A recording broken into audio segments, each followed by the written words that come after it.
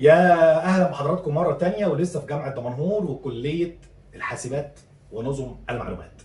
دي كلية بتاخد من مجموع عالي جدا يعني يكاد يكون قريب جدا من كلية الهندسة لأن هي بتخرج مهندسين مهندسي حاسبات مهندسي نظم. دي الناس اللي هتعمل لنا اللي هيكونوا مبرمجين دول الناس اللي هيعملوا لنا يعني آفاق المستقبل ودي كلية المستقبل في تقدير البعض ومنهم أنا. هذه الكلية من الكليات الهامة جدا والحيوية جدا. و... وتكاد تكون الجامعة بتاعة دمنهور أو كلية حاسبات جامعة دمنهور تاني أعلى آه، مجموع بعد القاهرة.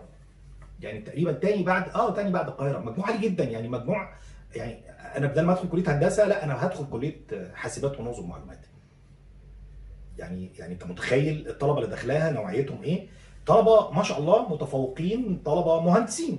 ناس يعني آه، آه، آه، بذلوا جهدهم في الحصول على مجموع عالي جدا جدا جدا إلى أن وصلوا لهذه النتيجة علشان يدخلوا كلية الحاسبات ونظم المعلومات.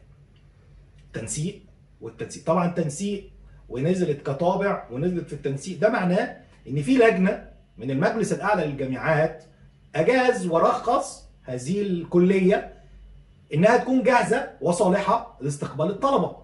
ودي علامة استفهام علامة استفهام كبيرة قوي. أول عام دراسي هو العام الحالي 19 20 قابلت الكلية في الأول 100 طالب بعد كده وصلوا لحوالي 179 طالب. طيب الطلبة يلا بينا نروح. يلا بينا نروح. راحوا لشؤون الطلبة في الجامعة. يا جماعة إحنا بتوع نظر والله إحنا ما عندناش خبر.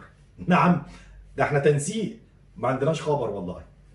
من هنا لهنا عملوا آه، جابوا للكلية عميد هو الدكتور سعد درويش. الدكتور سعد درويش كان لوحده في الجامعة دي في الكلية دي في النوباريه وكان معاه موظف واحد بس هو كان أمين آه، الجامعة أو يعني بيسموه المدير الإداري للجامعة حاجة زي كده. هما الاثنين دول بس في الجامعة في الكلية. آه زي ما بقول لك كده يعني اللي أنا بحكيه لك ده أي حد ممكن يحكيه لك في آه، جامعة دمنهور.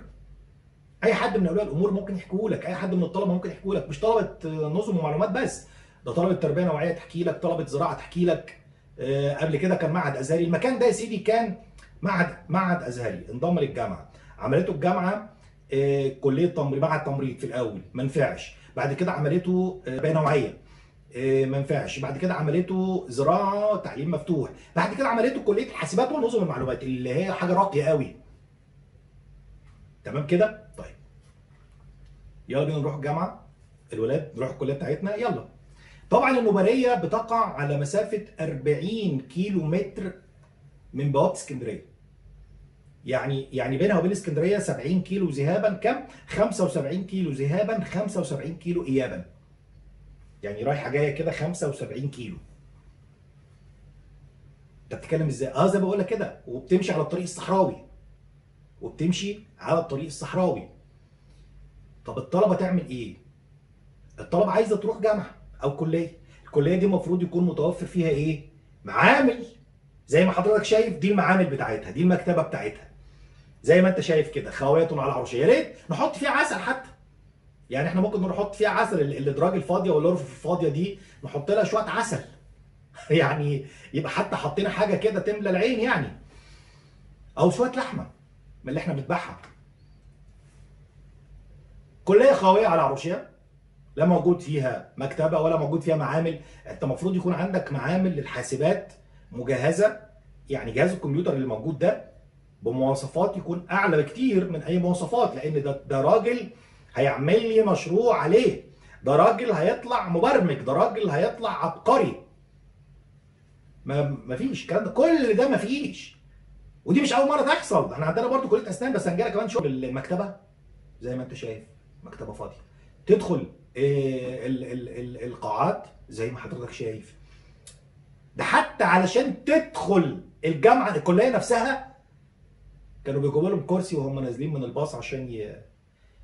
يحموهم من المية لأن الكلية ما فيهاش صرف صحي. أديك زي شيء ما أنت شايف كده منظر الصرف الصحي المية الدنيا واقفة. بنات بتنزل في وسط المية يجيبوا لها كراسي كده علشان تنزل في وسط المية. ده كده ده خلي بالك إحنا كده لسه بره الكلية ما دخلناش الكلية إحنا إحنا وريناكم جوه الكلية. تعالى بقى نطلع بره. إحنا إحنا عايزين ندخل الكلية. المية سد الدنيا الباص موجود. اهو كرسي اهو زي ما انت شايف. الناس بتنزل من الكرسي تعالوا انزلوا يا جماعة. قول لي دول ممكن يتعلموا إزاي؟ يدخلوا دلوقتي يحضروا محاضراتهم إزاي؟ الولاد عملوا شكوى والشكوى زي ما انت شايف حضرتك اهي قدامك لرئيس الجامعة. إن إحنا عندنا مشاكل واحد اتنين تلاتة أربعة. الشكوى ما تردش عليها. بعد شوية الولاد فعلوا هاشتاج. الهاشتاج بدأ يبقى ترند. الترند بدأ يعكر مزاج شوية الجامعة. اتصل بيهم حد من الجامعة آه، رئيس الجامعة بيعدكم بحل المشكلة في 48 ساعة بس بشرط توقفوا الهاشتاج. حاضر. راحوا اجتمعوا مع رئيس الجامعة. وقعدوا معاه في اجتماع. إيه طلباتكم؟ والله يا دكتور إحنا ما عندناش معامل، إيه ده معقول؟ إزاي يا دكتور ما عندكش معامل؟ والله يا دكتور إحنا ما عندناش دكاترة، إزاي معقول انت إزاي ما فيش دكاترة؟ إحنا ما عندناش إزاي معقول؟ الدكتور والله ما عندناش كراسي، إزاي ده معقول ما عندكوش كراسي؟ مش عارف، كأن الراجل مش عارف حاجة خالص. بعد شوية تاني يوم على طول راح لهم وفد من الجامعة. الوفد ده بقيادة مين؟ الدكتور جمال عمران اللي اتكلمنا عنه قبل الفاصل. اللي هو عميد كلية صيدلة وقائم بأعمال عميد كلية تجارة ومفوض نائب رئيس جامعة لشؤون الدراسات العليا. وقلنا المبعوث الخاص وهو كان مبعوث خاص. كان هو وعميد كلية طب بيطري اللي هي كلية الدكتور عبيد صالح أصلا اللي هو طبعا يعني معين عميد طب بيطري ده على نقاوة عينه يعني. تمام كده؟ إيه يا أولاد طلباتكم إيه؟ والله يا دكتور إحنا ما عندناش آه، يعني معامل إحنا عندنا قال لهم بقول لكم إيه؟ هو إحنا ضربناكم على ايديكم هو إحنا اللي قلنا لكم تيجوا؟ مش أنتوا اللي جيتوا بمزاجكم بالله عليك ده رد. انت شايف ده رد؟ واحمدوا ربنا ان أنتوا موجودين ولكم لكم كلية. إيه ده؟ بتتكلم جد؟ آه بتكلم جد وارجعوا حضراتكم للطلبة اللي حضروا الاجتماع. إحنا ما ضربناش حد على ايديه. واحمدوا ربنا وكويس ان أنتوا في كلية. يا جماعة آه والله زي ما بكلمك كده. دكتور جمال جاب لهم شوية كراسي من كلية صيدلة. قال لهم أنا أجيب لكم كراسي عشان مفيش ميزانية للكلية. الجامعة ما عملتش ميزانية للكلية دي السنة دي. لحد ما يبقى لكم ميزانية ابقى أنا اتصرف أنا تاني مع الجامعة. طب والله شكرا. وبعت لهم شوية كراسي وجالهم اتنين دكاترة بعد ما كانش فيه غير الدكتور سعد العميد ومعاه موظف. الدكتور سعد هنا كان بيتصرف يعني كان بيتصرف بيجيب الناس من الدراسات العليا اللي معاه اللي في جامعة اسكندرية على ما اعتقد وكانوا بيدرسوا للطلبة. وكانوا بيساعدوه في تدريس كورسات للطلبة. الراجل مشكور كان بيتصرف. تخيل حضرتك إن امتحان بقى تعالى كده. قبل الامتحان جالهم عميد كلية تربية نوعية الدكتور بهلول سالم. إيه يا أولاد طلباتكم إيه؟ وحبايب. اللي هو بقى عشان برضو إيه الكلام الكويس الكلام الحلو وما تسمعوش للناس الوحشة وما تعملوش ما تخلوش. إيه يا أولاد مشاكلكم؟ قال لهم مشاكلنا ما عندناش معامل ما عندناش دكاترة ما عندناش كلية بمعنى أصح. قال لهم اللي مش عاجبه هو كده. واللي مش عاجبه يطلع فوق المبنى ويرمي نفسه. والله زي ما بحكي لحضراتكم كده اللي مش عاجبه يطلع فوق المبنى ويرمي نفسه وده جانب من من اجتماع الدكتور بهلول سالم بالطلبة. اللي مش عاجبه يطلع ويرمي نفسه.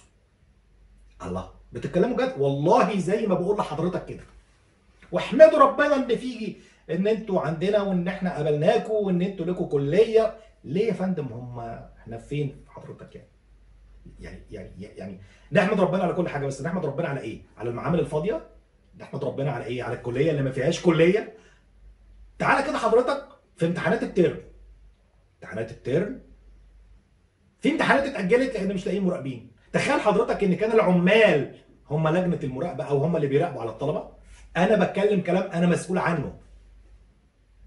تخيل ان في ماده اتاخرت مره ساعه الا ربع علشان بيتصلوا بواحد يصحوا من النوم ارجوك تعالى عشان مفيش مراقبين. جالهم وهو كده بيدعك في عينيه عشان ساكن قريب من النوباريه بعد ما اجلوا الماده. انت متخيل؟ آه. طب انت متخيل إن الناس كان عندهم دراسة خمس أيام في الأسبوع اتخفضوا لأربعة؟ وجالهم تليفون بالليل أو على الواتس بالليل كما كنت. اللي ما تسيبش الجدول ده علشان هيبقى بكرة في امتحانات لكلية الزراعة التعليم المفتوح؟ تخيل. لا لا لا لا بلاش بكره حاسبات عشان آه، عندنا امتحانات الزراعة التعليم المفتوح. زي ما بتكلم حضرتك اللي أنا بقوله ده أنا عايز الجامعة ترد عليه وتقول إن الكلام ده غلط وما بيحصلش وترد عليا الجامعة وتبعت لنا بيان رسمي بده أو متحدث رسمي بده أو رئيس الجامعة نفسه يرد. أهلا وسهلا بيه. علشان إحنا نرد بقى ونعقب بطريقتنا. زي ما بقول لحضرتك كده والله. في الوقت اللي إحنا هايصين في العسل وهايصين في اللحمة سايبين المعامل فاضية خاوية على عروشها. في الوقت اللي إحنا منهمكين في بيع العسل وإنتاج العسل وإن العسل هيعالج الكورونا إحنا سايبين المعامل خاوية على عروشها كليات خاوية على عروشها ونايمين في العسل إحنا. إحنا إحنا اللي نايمين في العسل محدش تاني إحنا. إحنا الناس الوحشة اللي نايمة في العسل. إحنا مش بنتكلم على حد يعني. إحنا اللي نايمين في العسل. وطلبة زي دول ودفعة زي دي ذنبهم في رقبه مين ده السؤال. وإحنا هنا بنناشد المجلس الأعلى للجامعات. وأنا عارف الدكتور خالد عبد الغفار الموضوع أنا عارف إنه مش بإيدك قوي أنا عارف. أنا بتكلم بقى الجهتين. الجهتين اللي هي بترشح. الجهتين اللي بتضغط لاختيار القيادات. ده اللي أنا بس بناشدهم دلوقتي وبقول لهم يا ترى الوضع ده عاجبكم؟ مستمرين معاكم في جامعة دمنهور في عدة حلقات قادمة لأن معنا ملف كبير هنشتغل عليه فترة كبيرة جدا. استحملونا الفترة اللي جاية علشان إحنا هنتكلم في الملف ده باستفاضة لأن كل يوم بيجي لنا جديد كل يوم بيجي لنا جديد.